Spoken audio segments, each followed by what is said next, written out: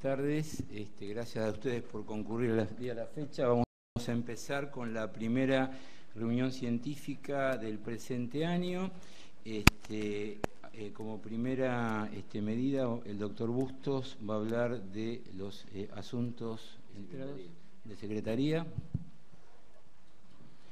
Bueno, recordarles a todos la realización del decimocuarto Congreso Argentino Internacional de Mastología, a realizarse los días 31 eh, al 3 de septiembre de 2019, así que esperamos verlos a todos en el Congreso. Bien, pasamos la siguiente.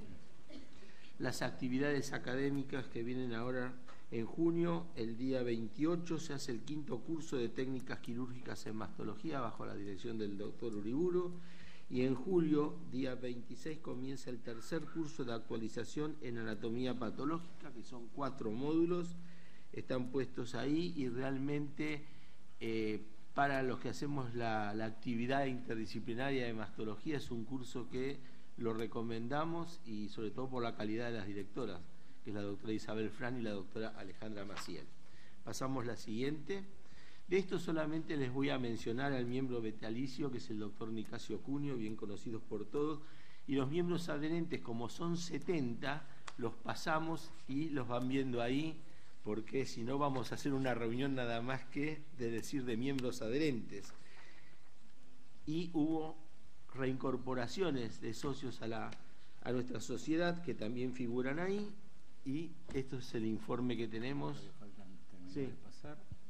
Ahí está la reincorporación de los miembros. Bueno, eh, para continuar antes de empezar con la reunión científica, las comunicaciones, eh, les queremos informar que en la reunión de comisión directiva, en la última reunión de comisión directiva, eh, se ha decidido otorgar dos becas a los alumnos de cada curso de los cursos bienales, para el curso bienal nacional, el metropolitano y el curso este, con imagenología, y este año, como ya están iniciados los cursos, se van a becar los mejores alumnos para el segundo año y a partir del año siguiente va a haber dos, becas ya directamente para cada curso. Le queremos informar eso porque en realidad nos parece a nosotros muy interesante para poder devolverles a todos ustedes de, la sociedad este, eh, algo de lo que ustedes colaboran para que nosotros sigamos existiendo.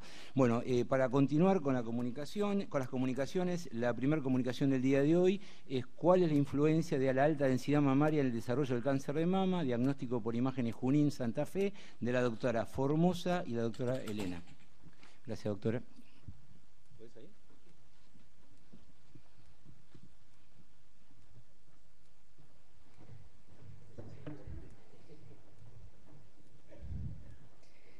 Buenas tardes a todos, muchas gracias doctores. Nuestro trabajo eh, consistió en estudiar cuál es la influencia de la alta densidad mamaria en el desarrollo de cáncer de mama, sabiendo que la alta densidad mamaria es un factor de riesgo primario independiente para el desarrollo de cáncer de mama, que aumenta de dos a seis veces el riesgo de cáncer. El objetivo general de nuestro trabajo fue determinar en las pacientes biopsiadas en diagnóstico por imágenes Junín durante el año 2017 la relación existente entre densidad mamaria diagnosticada por mamografía y el desarrollo de cáncer de mama. Los objetivos específicos fueron analizar cómo incide la densidad mamaria como factor de riesgo independiente para cáncer de mama, analizar la densidad mamaria de las pacientes incluidas en el estudio según la edad e investigar la influencia de los antecedentes familiares en la relación densidad mamaria y cáncer de mama.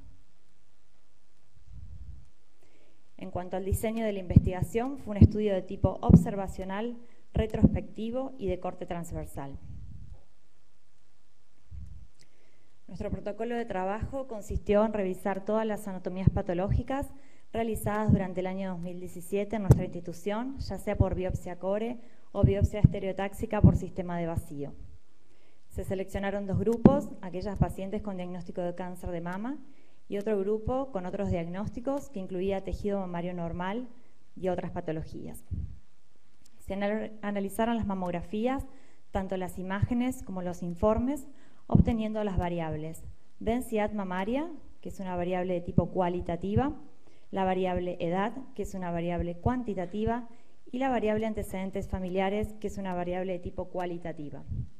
Los criterios de inclusión fueron pacientes mujeres mayores de 40 años con biopsia realizada en el año 2017 por sospecha de cáncer de mama, excluyendo pacientes con antecedentes personales de cáncer de mama y aquellas pacientes que utilizaban terapia hormonal de reemplazo, ya que la misma puede aumentar la densidad mamaria.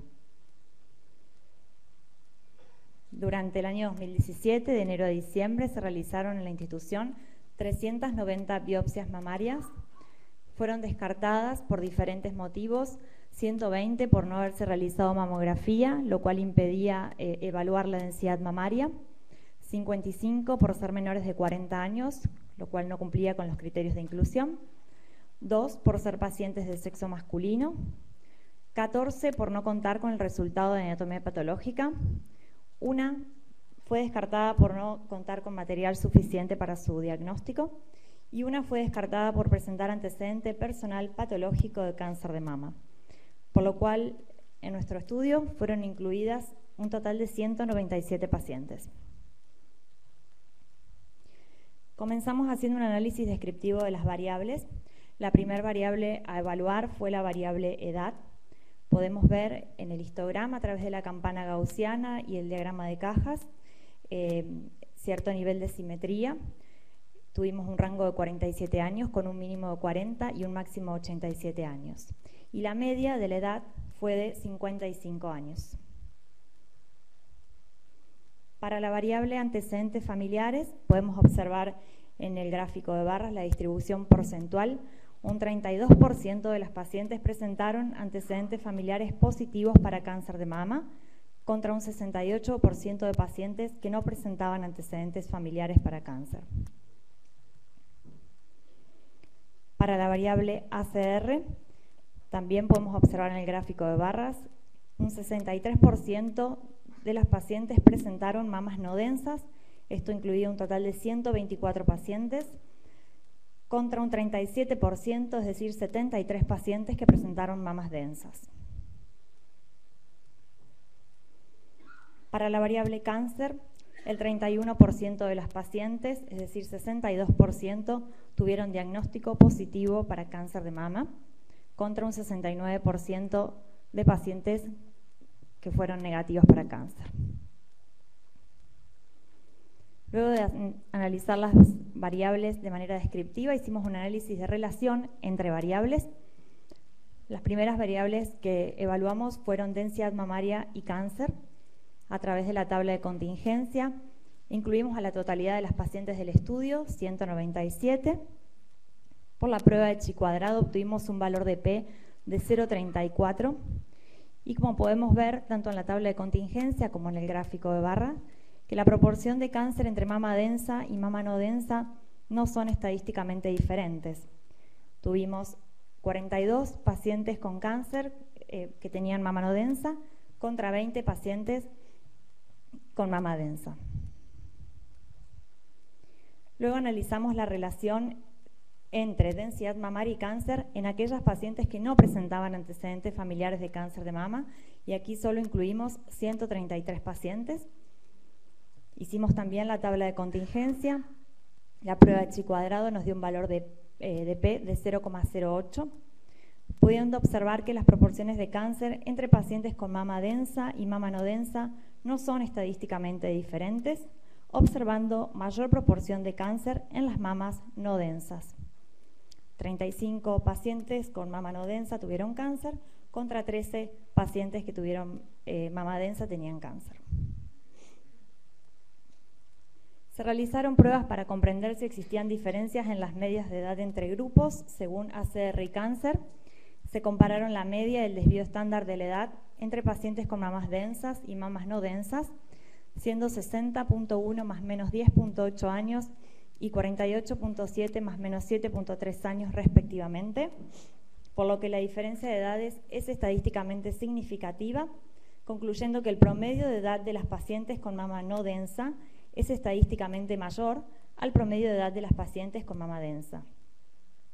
También se compararon la media del desvío estándar de la edad entre las pacientes con diagnóstico de cáncer y aquellas con otros diagnósticos, siendo valores 60.8 más menos 12.9 años y 53.1 más menos 8.9 años respectivamente, por lo que la diferencia de edades es estadísticamente significativa Por lo tanto, el promedio de edad de las pacientes con diagnóstico de cáncer es estadísticamente mayor al promedio de edad de las pacientes con otros diagnósticos.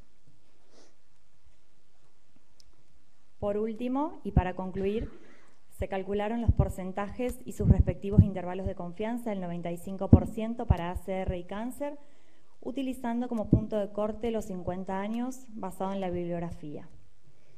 Podemos observar una amplia diferencia de porcentaje de mama densa entre mujeres menores y mayores de 50 años, siendo el grupo etario más bajo el de mayor porcentaje.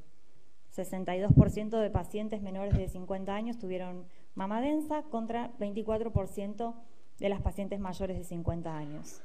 Y a su vez también observamos mayor porcentaje de cáncer en las mujeres mayores de 50 años, 40%, contra 16% en las mujeres menores de 50 años.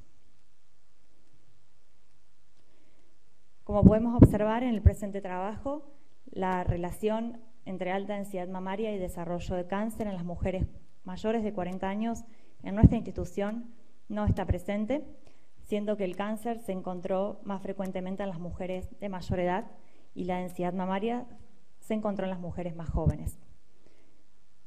Por lo tanto, no detectamos una relación estadística significativa entre alta densidad mamaria y desarrollo de cáncer, observando mayor proporción de cáncer en mamas no densas, observando que el promedio de edad de las pacientes con mamas no densas es estadísticamente mayor al promedio de edad de las pacientes con mamas densas y observando mayor porcentaje de cáncer en las mujeres mayores de 50 años.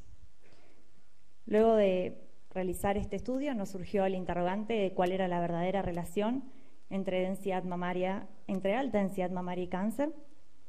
Creemos que esta relación existe y no puede ser despreciada porque hay importante bibliografía que lo avala pero sí creemos que quizás sería prudente evaluar cuáles son las variables que se deberían controlar para que esta relación sea realmente apreciada. Muchas gracias.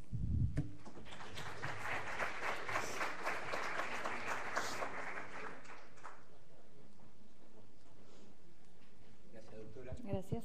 Interesante su trabajo. Queda a consideración el trabajo de la doctora Formosa de colaboradores. ¿Alguna pregunta del auditorio? Sí, eh, el doctor Dávalos. Quédate acá. Este, bueno, el trabajo es interesante, eh, es difícil llegar a una conclusión definitiva.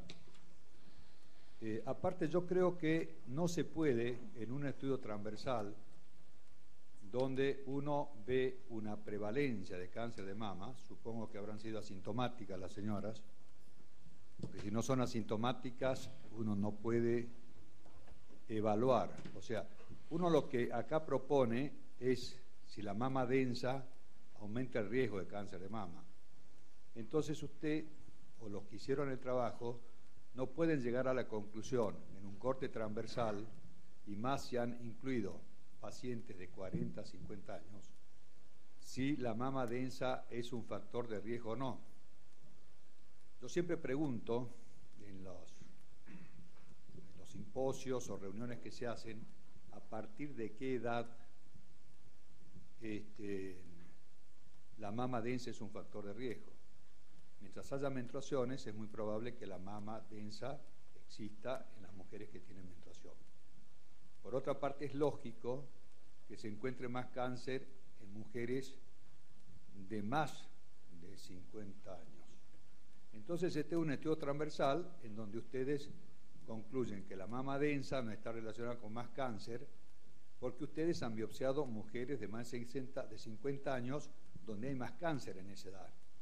Yo creo que el valor sería que ustedes agarren mujeres sanas con mama densa y las sigan en el tiempo y ahí veremos si realmente esa densidad mamaria a partir de los 50 años hay más cáncer de mama que en las mujeres que no tienen mama densa.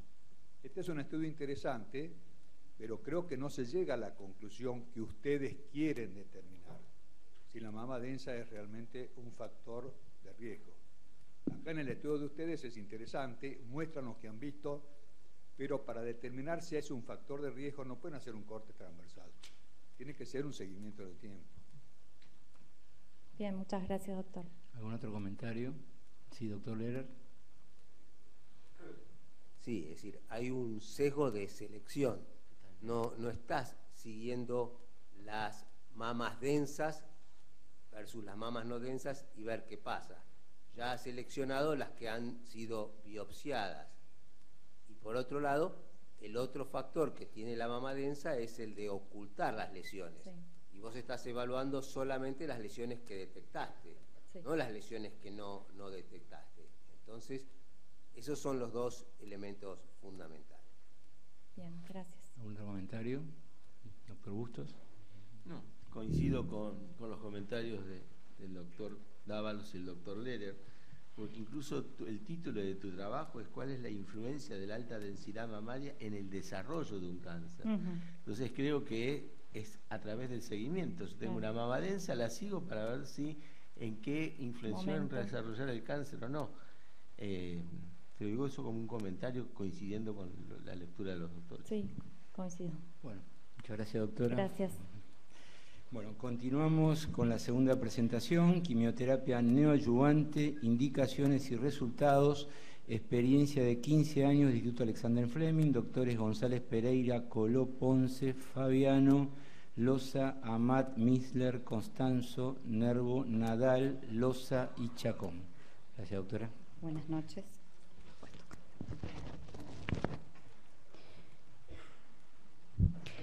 Bueno, buenas noches. El trabajo que voy a presentar se titula Quimioterapia no adyuvante, enfoque actual, experiencia en el Instituto Alexander Fleming.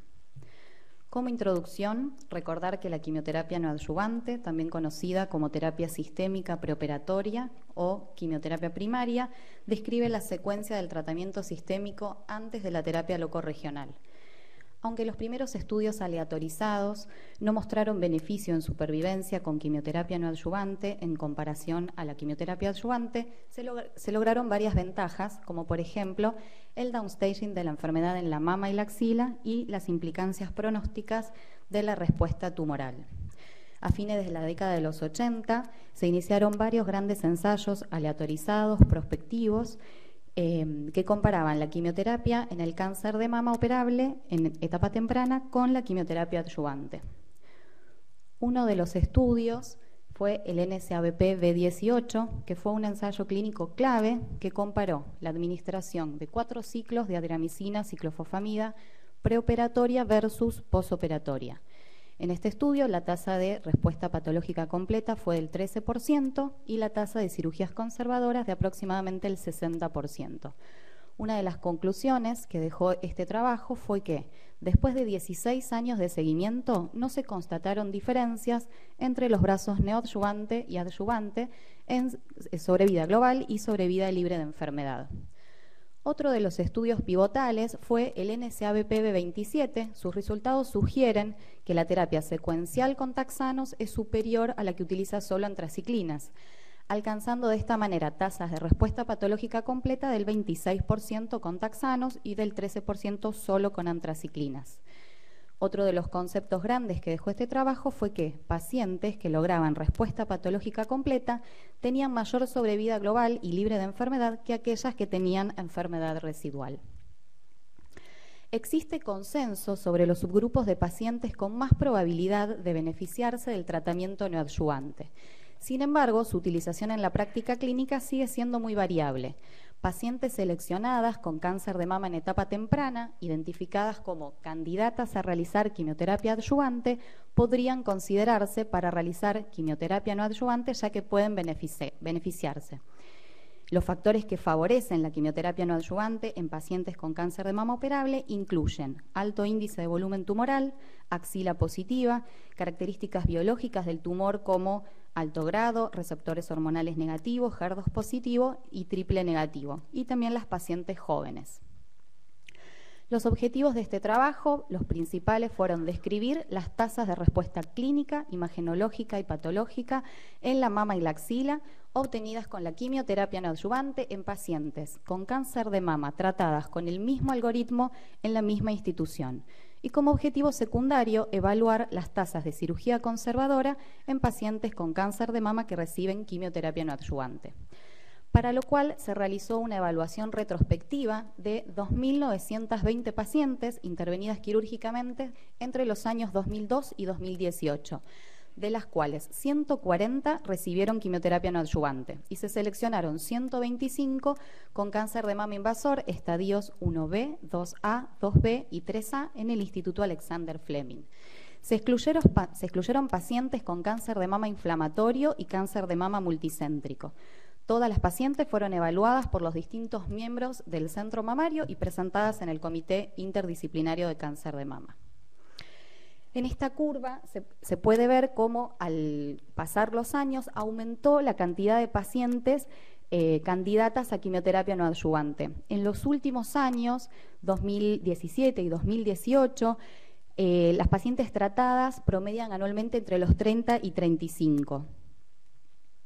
Para la evaluación inicial se realiza examen físico, mamografía y ecografía mamaria, Inicialmente la ecografía de partes blandas axilar se realizaba en casos seleccionados y a partir del 2014 se realizó en forma sistémica a todas las pacientes. En los casos de adenomegalia sospechosa, ya sea clínica o ecográfica, se realizó la punción de la misma y la marcación con carbón. A partir del año 2007 se solicita resonancia mamaria con y sin gadolinio, la punción histológica bajo guía ecográfica o estereotáxica según corresponda y estudios de extensión, tomografía de tórax, abdomen y pelvis y centellograma óseo. En cuanto a la estadificación, los tumores se estadificaron de acuerdo a la clasificación TNM y se clasificaron en luminales A, luminales B, luminales B HER2, HER2 y triple negativo. Para el seguimiento y monitoreo intraquimioterapia no adyuvante se realiza examen físico por el mastólogo y por el oncólogo luego de cada ciclo de quimioterapia recibido. La marcación con clip de las imágenes punzadas se realiza al constatar respuesta y disminución del tamaño tumoral. En algunos casos seleccionados se realiza ecografía o resonancia ante sospecha clínica de progresión y con respecto a la evaluación final se solicita nuevamente ecografía, mamografía y resonancia, la evaluación final axilares por examen físico y de acuerdo a la respuesta clínica e imagenológica se decide la conducta quirúrgica, cirugía conservadora mastectomía, biopsia de ganglio centinela o linfadenectomía axilar. En cuanto a la cirugía de la mama, en el caso de la cirugía conservadora, si el tumor no era palpable cuando se finalizó el tratamiento, se efectúa la marcación prequirúrgica con carbón del clip. Se realizan mamografías de la pieza quirúrgica en el momento de la cirugía para verificar la presencia del clip y en algunas pacientes, según la decisión del mastólogo interviniente, se realizaron ampliaciones de los márgenes, que es la técnica de shaving. En el caso de la mastectomía, se decide la eh, conducta mm, quirúrgica de acuerdo al informe de ecografía o resonancia con eh, referencia a la distancia del tumor al CAP para decidir skin sparing mastectomy o nipple sparing mastectomy. En relación a la cirugía de la axila, para la identificación del ganglio centinela siempre se utilizó la técnica combinada, con tecnesio, que se inyectó entre 24 y 2 horas previas a la cirugía, y con azul patente al 3%, que se inyectó 2 a 3 mililitros. Se extrajeron al menos tres ganglios identificados como ganglio centinela, incluyendo el marcado con carbón, y se realizó el estudio intraquirúrgico de los mismos por impronta. Si el ganglio centinela fue informado como positivo, se completó la linfadenectomía axilar en el mismo acto quirúrgico. En tanto, si el ganglio centinela fue informado eh, como positivo en el estudio diferido, ya sea con eh, células tumorales aisladas, micrometástasis o macrometástasis, se realizó la linfadenectomía axilar en un segundo tiempo. En cuanto al estudio anátomo-patológico, se utilizó la valoración de respuesta patológica de Miller y Payne. Eh, se define como respuesta patológica, respuesta patológica completa perdón, la ausencia total de tumor infiltrante en la mama, es decir, respuesta local de Payne G5 sin afectación ganglionar, respuesta ganglionar eh, de Payne A o D.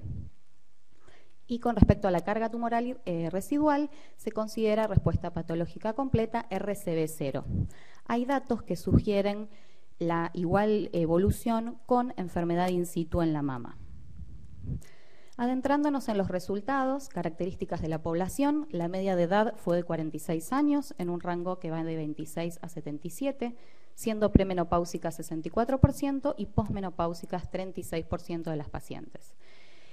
En cuanto a los subtipos histológicos, el carcinoma ductal fue el predominante, representando el 80%, y el lobulillar el que eh, con un 13.6%. Se seleccionaron aquellos eh, carcinomas lobulizares con grado histológico 3, receptores hormonales negativos, HER2 positivo o triple negativo, los cuales se consideran que tienen mayor probabilidad de respuesta. En cuanto a la clasificación molecular, los luminales A representaron el 20%, los luminales B y los luminal B HER2 el, el 18%, HER2 positivo 20% y triple negativo 23%. Esquemas de quimioterapia utilizados basados en antraciclinas y taxanos. En los tumores con sobreexpresión de HER2 se utilizó trastuzumab desde el año 2007 y posterior a la aprobación del esquema de bloqueo dual en 2015 se sumó pertuzumab al trastuzumab, utilizando entonces carboplatino, 12 taxel, trastuzumab más pertuzumab por 6, eh, la rama C del trifaena. Se tomó entonces el mismo como estándar de tratamiento en pacientes candidatas a quimioterapia no adyuvante, HER2 positivas, con tamaño tumoral mayor a 2 centímetros o cualquier tamaño tumoral con axila positiva. En cuanto al examen físico, el promedio de tamaño tumoral clínico inicial fue mayor para los tumores HER2 positivos, alcanzando los 6 centímetros. En el caso de los luminales A, también tuvieron un tamaño tumoral de aproximadamente 5 centímetros y medio, esto es un tamaño promedio, y se seleccionaron en estas pacientes, se planteó con el objeto de reducir el volumen tumoral, de lograr el downstaging en la mama. Con respecto al eh, tamaño tumoral clínico final, el promedio también se obtuvo mayor regresión para los tumores HER2 positivos, alcanzando un centímetro, y para los luminales a 2.5 centímetros de tamaño final.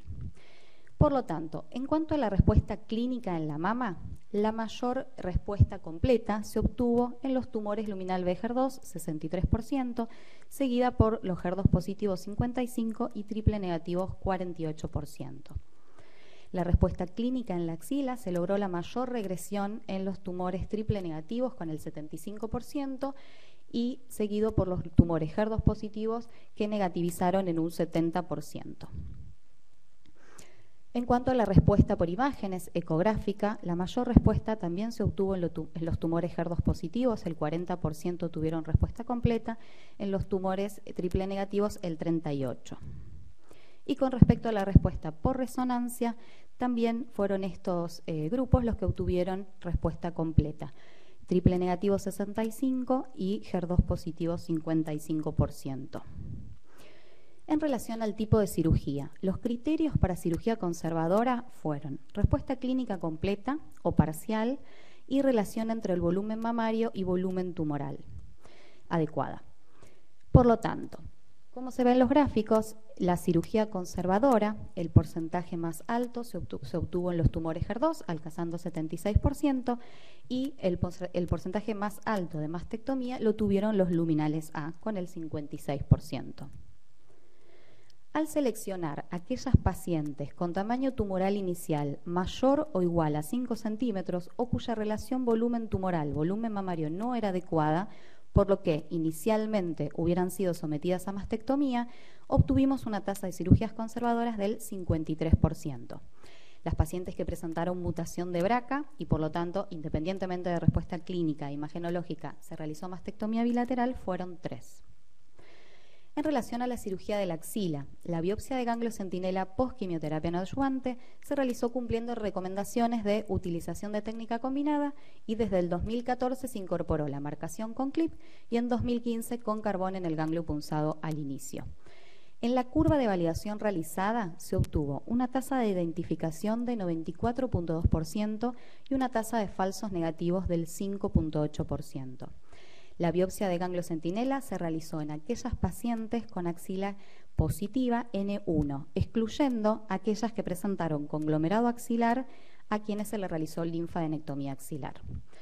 Entonces, para esquematizar la, eh, propuesta, la cirugía de la propuesta axilar post-neoadjuvancia, es que dividimos a la población en dos grupos las pacientes con axila clínicamente positiva de inicio y las pacientes con axila clínicamente negativa de inicio. En el primer grupo podemos ver que las pacientes que no negativizaron fueron sometidas a linfadenectomía axilar. Las pacientes que negativizaron la axila pacientes con clínicamente N1, hasta finales del 2013 se realizó sistemáticamente biopsia de ganglio centinela y linfadenectomía axilar. Y a partir del 2014 se realizó biopsia de ganglio centinela. En el caso de que ésta fuese positiva, se completó la linfadenectomía axilar y aquella que la biopsia de ganglio centinela fue negativa, se realizó radioterapia en áreas ganglionares. En el segundo grupo, las pacientes que tenían axila clínicamente negativa de inicio, se realizó biopsia de ganglio centinela, confirmada su negatividad, no se realizó radioterapia en áreas ganglionares. Por lo tanto, con, respuesta, con relación a la respuesta patológica en la mama, obtuvieron respuesta patológica completa los tumores. HER2 positivos en un 56%, triple negativo en un 55% y luminal B 2 en el 40%. El grupo que obtuvo menor tasa de respuesta patológica completa fueron los luminales A.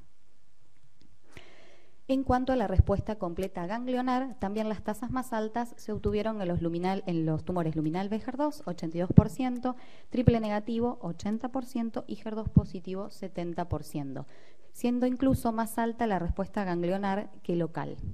Por lo tanto, pacientes con axila clínicamente positiva fueron 70, confirmadas con histología prequimioterapia neoadyuvante 40 y que obtuvieron respuesta patológica completa 25. En este cuadro se puede observar la comparación entre la respuesta patológica completa en la mama y la axila y también la respuesta patológica global. En el caso de los HER2 alcanzó 44% y en los triple negativos 24.1%. En los luminal BHER2 30%.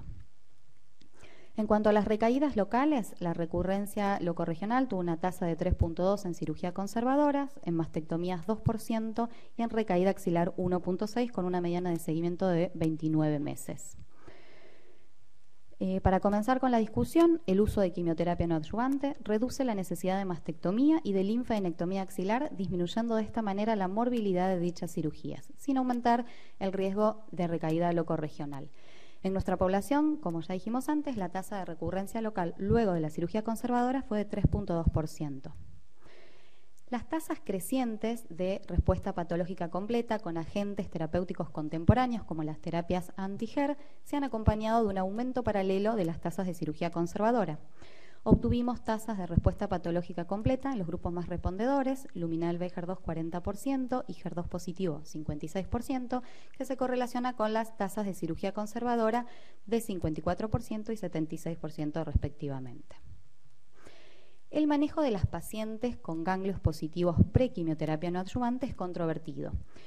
Actualmente muchas pacientes son sometidas a linfadenectomía axilar. Ahora hay cada vez más evidencia de que esto representa un exceso de tratamiento, particularmente en las pacientes con tumores HER2 positivo y triple negativo, que son las que logran altas tasas de respuesta patológica completa en los ganglios.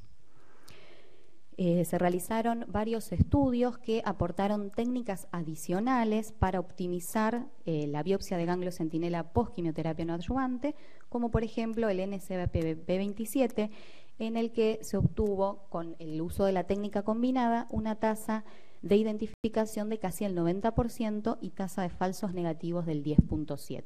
Otro de los estudios fue un subgrupo del estudio ACOSOG 1071 en el que al colocar el clip y el carbón en el ganglio axilar biopsiado y con su extirpación documentada disminuyó la tasa de falsos negativos a 6.8%.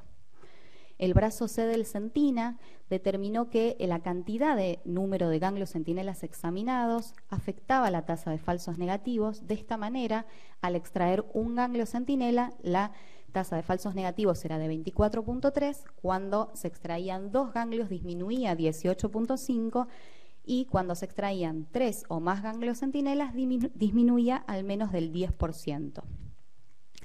El ensayo canadiense eh, describe una tasa de falsos negativos baja de 8.4 con el uso obligatorio de la inmunohistoquímica. También determina que las metástasis de ganglio centinela, cualquiera sea su tamaño, se consideran positivas y que ante una falla técnica se debe realizar la linfadenectomía axilar. El panel de expertos de San Galen en 2017 determina que la biopsia de ganglio centinela era adecuada si se detectaban y examinaban al menos tres o más ganglios negativos. La axila clínicamente positiva o con macrometástasis, identificada en los ganglios centinelas, se someten a linfadenectomía axilar.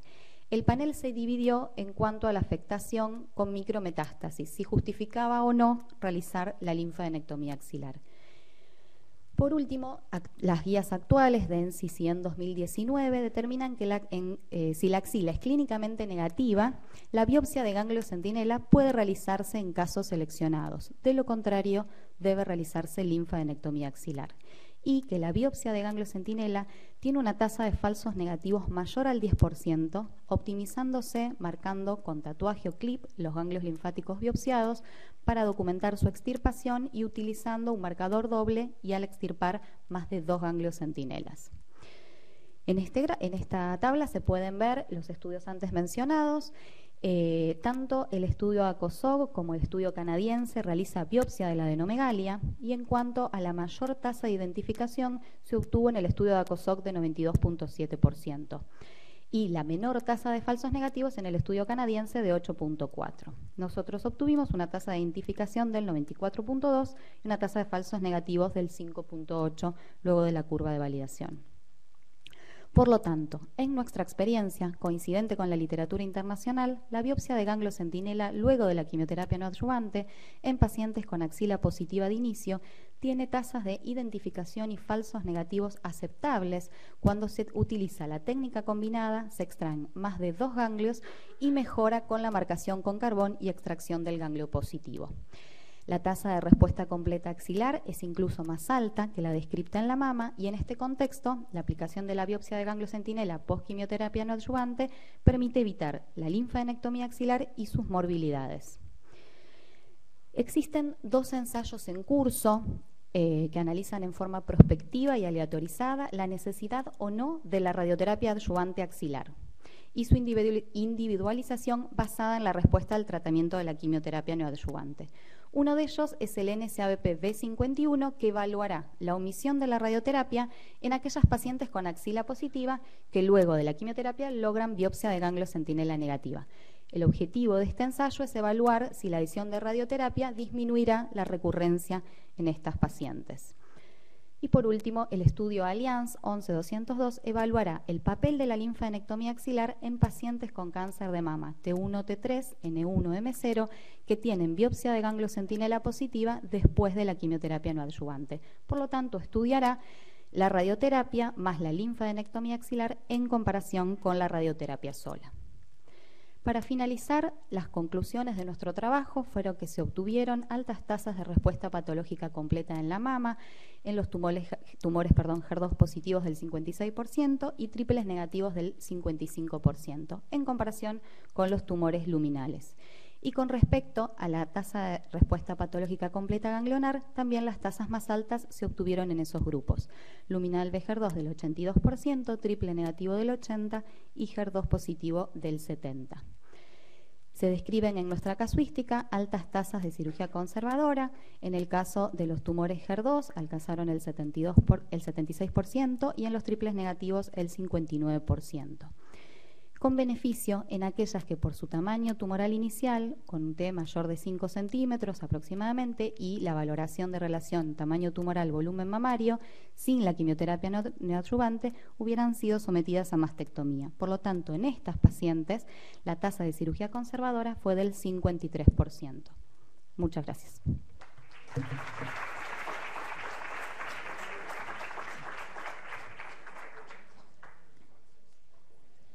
Gracias, doctora. Bueno, queda en consideración el trabajo del Instituto Alexander Fleming. ¿Alguna pregunta? Sí, doctor Dávalos.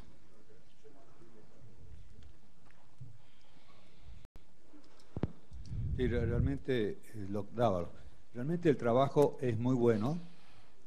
Este, y yo quisiera hacer eh, algunos comentarios. Eh, un comentario es no sé si quiere que le haga los tres al mismo tiempo. A, ver, vamos por uno. No, no, pues son fáciles porque se va a ¿Comentarios o preguntas? Si un comentario, todos juntos. Si son preguntas, uno por uno. Son comentarios. Uno, los oncólogos con los cuales yo trabajo, generalmente en los luminales A y en los luminales B, prefieren no hacer neoadyuvancia. El segundo comentario es cómo estamos seguros de que vamos a obtener tres ganglios centinelas. Habitualmente, eh, cuando hacemos ganglios centinela, personalmente obtengo uno o dos. No tengo tanta experiencia ni veo tantas neoadyuvancias y a veces en las neoadyuvancias no sé cómo hacen para lograr tres ganglios centinelas. Y la tercera observación, eh, eh, en el medio que yo trabajo, que es el Sanatorio Mater Dei, no el 100% de los casos, no les gusta hacer biopsia por congelación del ganglio centinela después de la neoadyuvancia. No sé si siguen haciendo, yo sé que ustedes hacen ahora tendencia a hacerlo diferido. Si bien tienen una conducta diferente en los tumores operables, que en estos casos eh, la diapositiva decía que hacían biopsia por congelación por impronta. La doctora Fran, por ejemplo, no le gusta en el Mater Dei y medio se enoja si le pedimos a nosotros una biopsia por congelación post-neoadjuvancia, haya sido el ganglio positivo o negativo. Por eso quiero que me aclaren ustedes esos casos. ¿Qué hacen en los luminales? ¿Cómo hacen para conseguir tres ganglios centinelas negativos? ¿Y qué pasa si no encuentran más de tres ganglios? Y bueno, y lo otro, eh, no me acuerdo. Hablar con los patólogos. Bueno, doctora, conteste, pues son preguntas. en la. Con respecto a la primera pregunta, en el caso de los luminales, eh, la realidad es que eh, los que se seleccionaron fueron por eso destaqué un tamaño promedio de 5, pero en un rango que iba como hasta los 10 centímetros, o sea que la idea es que uno no, va, no, no está buscando lograr una respuesta patológica completa, sino el objeto de disminuir el volumen tumoral para facilitar la cirugía. Con respecto a la segunda pregunta de la biopsia de ganglio centinela, la verdad es que no tenemos grandes dificultades al inyectar el tecnesio, e inyectar el azul y, encontramos el ganglio marcado con carbón. Llegamos a tres. Hay veces que también puede haber algún ganglio palpable, pero no hay mayores dificultades. Y en el caso de que no marque el tecnesio, por ejemplo, o no llegue el azul, sí hay que completar la linfadenectomía axilar. Y la última pregunta con respecto a los patólogos. En el caso de la neoadyuvancia siempre se congela, se hace por impronta y la verdad es que los eh, patólogos del instituto no, no, generan grandes quejas y están bastante adiestrados a hacerlo, así que no tenemos tampoco dificultad con eso. Hay una pregunta al interior, este, Eugenia. Sí. ¿Tenés micrófono para hablar de ahí arriba? ¿Puede ser? linfadenectomía. Hace vaciamiento Eh, bueno, ya que estoy yo acá, eh, nosotros hacemos la nutricionista pone de ayudante del Instituto Rojo y...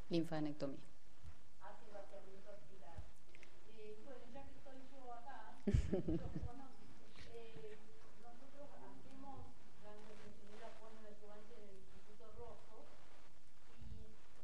no anda el micrófono, ¿eh? no, no, te anda el micrófono. No va a salir la grabación después, por eso, antes más así.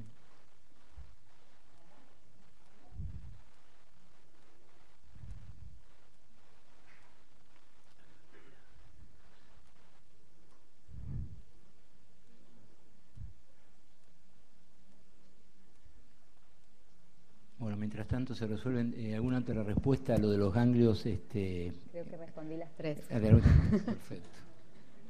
Bueno, no sé, Eugenia, hablas sin micrófono, ¿cómo se no sé. A capela.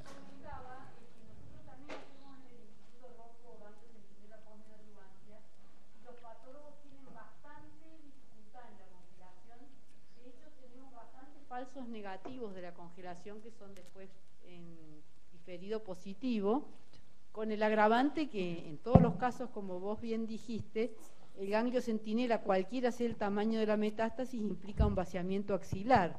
No es como con eh, el ganglio centinela en cirugía de inicio, que uno puede aplicar el Z11 o hacer radioterapia. Acá tenemos que someter a una nueva intervención a la paciente. Así que me hubiera interesado conocer la, la opinión de los patólogos de ustedes, a ver si tuvieron dificultades en la congelación. Sí, es un tema interesante porque la otra pregunta yo relacionada con eso que dijo Eugenia, yo vi ahí que tenían una tasa de recurrencias axilares de dos- 2.6%, ¿puede ser? Eh, uno- es 1.6 fueron dos pacientes. 1.6, perdón. Eh, esas pacientes, ¿qué habían hecho? ¿Qué cirugía habían hecho? O sea, habían sido inicia- eh, eh, positivas de inicio, después se negativizaron, que su grupo, ¿te acordás? Sí, fueron positivas de inicio y se negativizaron. Las dos. Sí. ¿Y no te acordás que su grupo biológico eran? Eh, luminal B, HER2 y triple negativo. Mm. Sí, hay otra pregunta ya. Ah, la doctora Fran apareció. Sí. Un patólogo. Soy la- soy la ¿Estás doctora- enojada? No, para nada. Soy la doctora Fran, patóloga del Sanatorio Mater Dei, y este, lo que quiero aclarar es que eh, comparto lo que dijo Eugenia Azar, en el cual hay dificultad para realizar el estudio intraoperatorio de los ganglios centinelas en, en.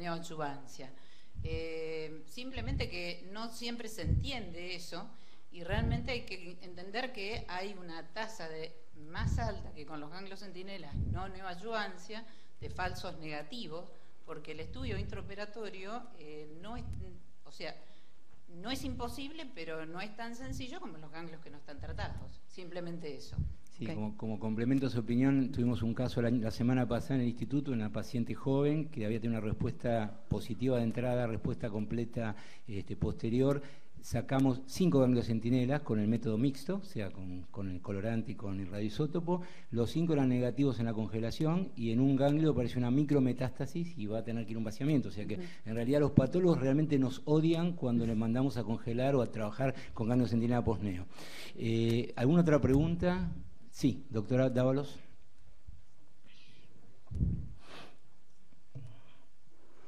Sí, un comentario.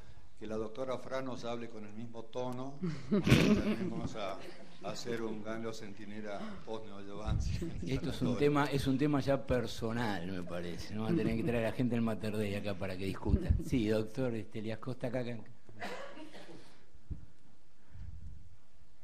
Sí, quería preguntar si ustedes habitualmente cuando marcan con clip y carbón el ganglio que fue positivo antes de hacerle la quimio neoadyuvante, cuando van a la cirugía y hacen el tecnesio y el azul Sí. y sacan ese ganglio, que le puede haber hecho o no una ecografía que te marque, por ejemplo, que la cápsula estaba engrosada post neoadyuvancia. En ese caso, mandan a radiografiar la pieza para ver si está el clip en ese ganglio por si no fuera el centinela. En realidad, actualmente no utilizamos clip, utilizamos carbón.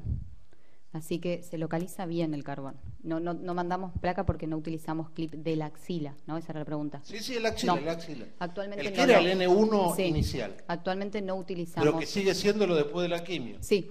Y otro comentario que le quería hacer es que en, en cuanto me dijo a la ecografía, un engrosamiento, nosotros no nos guiamos, digamos, por los estudios de imágenes para evaluar la axila, la axila final, sino el examen físico. Si es negativa, va a biopsia si es positivo, linfadenectomía. Ujú. ¿Alguna otra pregunta? Gracias. Eh, una pregunta relacionado a el tema de la cirugía y de la eh, radioterapia, que no hablaste mucho de radioterapia, hablaste nada más en la discusión, pero sí. el, el- yo vi ahí que obviamente la casuística del 2002 hasta ahora, y ahí hablabas de como mastectomía, técnicas de nipple sparing o skin sparing, cosa que no creo que sea de 2002. Por El- eso, el enfoque actual. Obviamente, sí. Eh, entonces, la pregunta es, primero, Sí. ¿qué criterios toman para indicar una... Pues eso obviamente es- eso es sinónimo de reconstrucción Una inmediata, reconstrucción. Obvio. Entonces, ¿qué criterios toman? ¿Qué estudios hacen previamente? Y después, como segunda pregunta complementaria a eso, ¿cómo manejan con la radioterapia? Porque en realidad la radioterapia es un tema que no solamente está discutido qué hacerlo, a quién indicarlo, porque hay subgrupos que son pacientes estadios 2, que a veces tienen axila negativa de entrada y van Sí. por el tipo biológico, y otros pacientes son localmente avanzados. ¿Cómo se maneja con la radioterapia y en relación a las prótesis o a los expansores? Eh, como estudios, ecografía, mamografía y resonancia, y con eso determinamos la técnica. La idea siempre es evaluarla junto con el cirujano plástico, que es el que va a hacer la reconstrucción. Nosotros le avisamos al cirujano plástico las pacientes candidatas a radioterapia y en ese caso tratan de colocarle directamente la prótesis. La- los cirujanos plásticos le hacen seguimiento durante, eh, mien- mientras que la paciente está haciendo la radioterapia. Eventualmente, si llega a tener alguna complicación, quizás tenga que retirarle la prótesis, pero la verdad que no tenemos gran porcentaje de complicación con la radioterapia en, en las reconstrucciones. Pero, ¿En qué follow-up están de radioterapia por reconstrucción? En tiempo, porque el tema del problema es la radioterapia en el tiempo, ¿no? Porque hoy en día está discutido, este, porque vos ahí presentaste una alianza y otra alianza para pacientes reconstruidas también, que Sí. está en curso. Este, y en realidad el tema hoy es que se está discutiendo, hay un grupo europeo, el de Portman, Film Portman, que, está, que están haciendo personalización de los tipos de radioterapia de acuerdo hasta dónde está puesta la prótesis. Si la ponen retropectoral es una cosa, prepectoral es otra, y los esquemas Claro, de, de siempre- radioterapia van variando. Siempre la, la colocan retropectoral. Por eso, Sí. entonces el tema es eso y ver los resultados en el tiempo, porque en realidad lo que está tratando de ver es ver resultados en el Claro. tiempo de forma prospectiva, que es el Claro. alianza. Ese dato puntual ahora no, no lo tengo, Bueno. pero Está bien, muchas gracias. No, por ¿Alguna favor, muchas pregunta gracias. más? Bueno, gracias doctora, Buenas felicitaciones noches. por el trabajo. Bueno, para terminar con la reunión del día de hoy, el último trabajo se va a presentar, es cáncer de mama T1A y T1B, factores pronósticos de compromiso axilar del Hospital Italiano de La Plata y la Clínica Brest, doctores Obaica, Vivacua, Chiara Mondía, Méndez, Moliner, Valenzuela, Cretón, Terrier, Barbera y Fernández. Gracias, doctora. Hola, ¿qué tal? Buenas tardes. Mi nombre es Noelia Baica y vengo a presentar el trabajo titulado Cáncer de mama T1A, T1B, factores pronósticos de compromiso axilar. Como introducción podemos decir de que el cáncer de mama presenta un grupo heterogéneo de tumores que muestra un comportamiento biológico muy diverso y de gran variabilidad clínica. Según los datos obtenidos del Instituto Nacional del Cáncer y Globocan, el cáncer de mama presenta una mortalidad mundial del 14%. Su incidencia en nuestro país va siendo en aumento y es de 71,2 cada 100.000 habitantes y la mortalidad es de 19,9 cada 100.000 muertes anuales, lo cual equivale a 5.530 pacientes eh, muertes por año. Perdón. Con respecto al compromiso axilar, múltiples son los factores pronósticos conocidos para relacionarlo con el mismo. El objetivo de este trabajo fue analizar de forma independiente la relación entre los factores estudiados y el compromiso axilar. Perdón. Eh, con respecto al TNM, podemos decir de que la Unión Internacional contra el Cáncer creó el sistema TNM en 1959 y eh, de este sale la estatificación de que los tumores, según su tamaño, se subdividen en T1A, tumores con un diámetro de 0,1 a 0,5 centímetros, y tumores T1B de 0,6 a 1 centímetro. Volviendo a los objetivos, podemos decir que el objetivo primario que, se planteó fue analizar en nuestro universo la relación entre el tamaño tumoral, la edad de presentación, el tipo histológico, subtipo tumoral o inmunistoquímico, la invasión vasculolinfática, grado histológico y Ki67 con el compromiso axilar en tumores T1A y T1B. Como objetivo secundario fue comparar los datos propios con la literatura nacional e internacional. Como material y métodos se realizó un estudio observacional retrospectivo en 2.550 pacientes operadas con diagnóstico de cáncer de mama en el periodo comprendido entre enero del 2012 y diciembre del 2017 en la unidad de mastología de la clínica Brest, Hospital Italiano de La Plata. De estas se analizaron 331 pacientes, las cuales presentaron tumores T1A y T1B. A todas se les realizó biopsia del ganglio centinela marcada con tecnesio 99. Consideramos ganglios metastásicos aquellos que presentaron macrometástasis, micrometástasis e incluso células tumorales aisladas. Se analizaron diferentes variables anatomopatológicas y se realizó análisis estadístico mediante test de hipótesis para evaluar si la diferencia de las proporciones en relación a la afectación ganglionar según distintas variables es estadísticamente significativo con un nivel de significancia del 5%.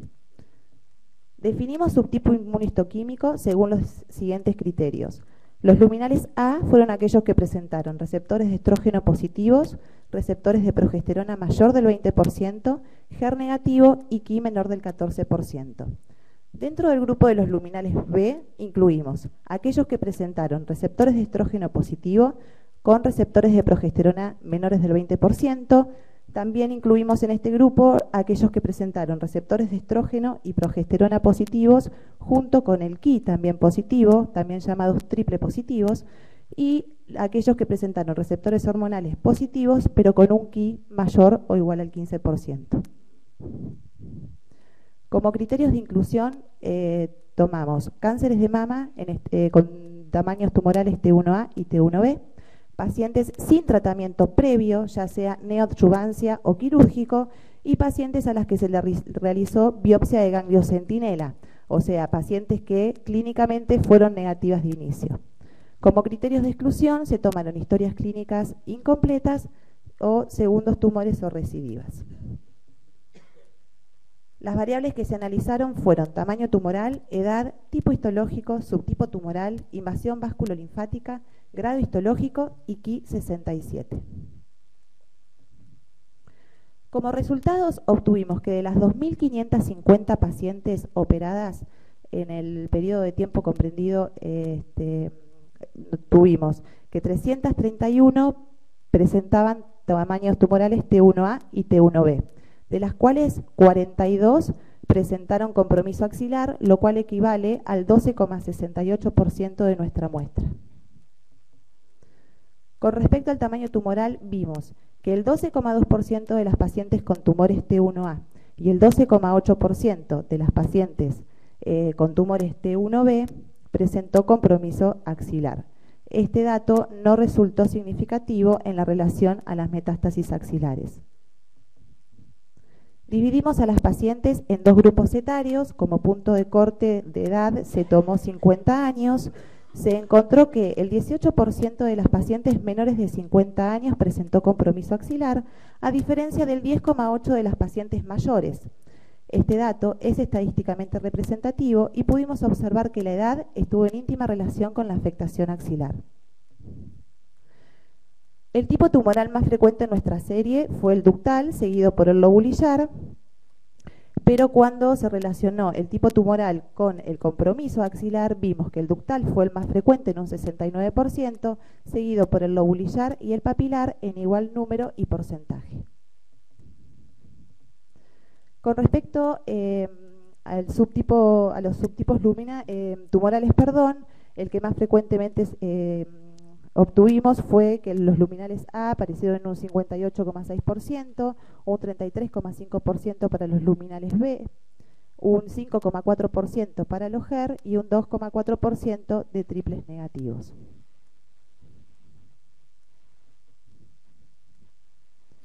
Este gráfico muestra la mayor tendencia al compromiso axilar por los tumores con biología agresiva eh, con biología más agresiva, perdón. En nuestra serie, todos los luminales B que comprometieron la axila se incluyeron en este subtipo tumoral por el solo hecho de tener un Ki mayor o igual al 15%, reflejando más proliferación tumoral y junto con los tumores triple negativos y HER2 presentaron en tumores pequeños mayor compromiso axilar en comparación con los luminales A. En nuestra serie, 26 pacientes presentaron invasión vasculolinfática positiva, de las cuales el 65% se relacionó con el compromiso axilar, mientras que solo el 3% de los tumores con invasión vasculolinfática negativa se relacionó con el mismo. El grado histológico 2 fue el más frecuente en nuestra serie, siendo el grado histológico 3 el, el más frecuente en relación con el compromiso axilar. En relación al KI 67, 67 perdón, el 35,6% de las pacientes analizadas presentó este marcador elevado y el compromiso axilar se vio en el 21,2% de este grupo. En contrapartida, el 64,3% presentó el KI bajo y solo se vio compromiso axilar en el 7,8% de este grupo.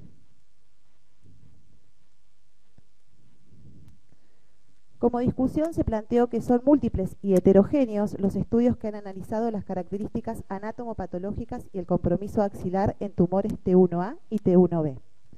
Entre los trabajos que se analizaron estuvo el publicado por Aleman y Núñez de Pierro, en el cual estudiaron 311 eh, pacientes con tumores menores de un centímetro entre los años 1986 y 2001. Ellos encontraron en su serie que 55 pacientes presentaron compromiso eh, axilar. Al igual que para nosotros, el tamaño no fue estadísticamente significativo. pero por el contrario, sí lo fueron la invasión vasculolinfática, el grado histológico y la edad. El porcentaje de ganglios con metástasis hallados en su estudio fue del 14,1% para los T1A y 17% para los T1B. En nuestro trabajo, el tamaño no tuvo un resultado estadísticamente significativo, ya que el porcentaje entre los dos, grupos fue similar. Encontramos que el 12,8% de los T1A y el 12,1% de los T1B presentaron compromiso axilar. Si bien el tamaño no resultó representativo, nuestros datos son congruentes con los publicados en el Consenso Intersociedades publicado en el año 2016, donde se cita que el compromiso axilar en tumores menores de un centímetro es del 10 al 20%. Nosotros tuvimos un 12,68% de compromiso axilar. El tipo histológico más frecuente relacionado con el compromiso axilar de nuestra serie fue el ductal invasor en un 69%, seguido en igual porcentaje por los lobulillares y papilares. Analizando los subtipos inmunohistoquímicos, encontramos que los triples negativos, los luminales B y los HER2 presentaron mayor proporción en relación al compromiso axilar. Vale aclarar que de nuestros 111 tumores luminales B, 61, o sea el 55%, se incluyeron dentro de este subtipo por el solo hecho de presentar el Ki elevado. Incluso todos los tumores luminales B con compromiso axilar pertenecían justamente a este grupo.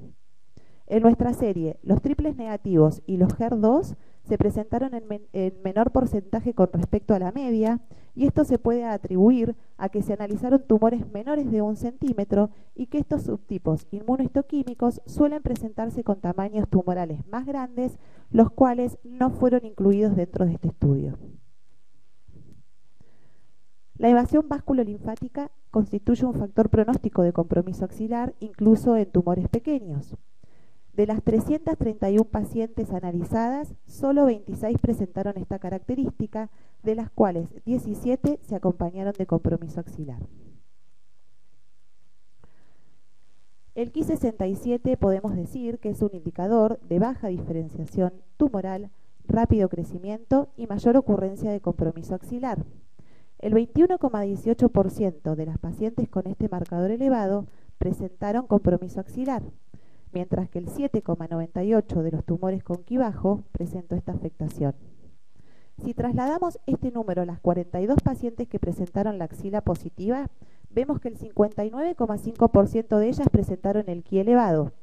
Podemos decirlo de otro modo y decimos que de las pacientes que presentaron compromiso axilar, Todas, salvo las luminales A, presentaron el Ki elevado. Según nuestros datos, el Ki 67, junto con la invasión báscula linfática, fueron los datos con mayor significancia pronóstica de compromiso axilar. La edad resultó significativa ya que nuestras pacientes menores de 50 años fueron las que mayor compromiso axilar presentaron. El grado histológico 3 fue el que mayor compromiso axilar presentó. Como conclusiones, obtuvimos que el tamaño tumoral no brindó datos significativos. Encontramos mayor compromiso axilar en pacientes menores de 50 años, aunque el grupo de pacientes es pequeño y necesitamos un N mayor para obtener conclusiones más sólidas, pudimos relacionar de forma directa que los triples negativos y los luminales B fueron los subtipos que mayor tendencia tuvieron al compromiso axilar. Si bien actualmente no se acepta la expresión del Ki 67 como factor independiente a la hora de toma de decisiones, en nuestra serie, junto con la invasión vasculolinfática, fueron los datos con mayor significancia en relación al compromiso axilar. El grado histológico fue predictor de compromiso axilar, y nuestros datos son coincidentes con los publicados en la mayoría de la bibliografía consultada. Muchísimas gracias.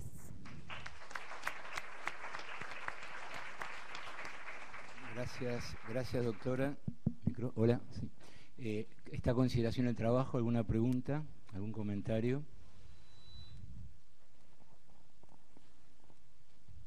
Doctora Fran, ¿algo que decir de aquí 67 ahí al fondo? que se lo están cuestionando, ¿no? Nada. Bueno, el trabajo fue muy bueno, muy completo, realmente una estadística interesante, más con tumores tan pequeños que hay que, hay que juntarlos y hay que analizarlos.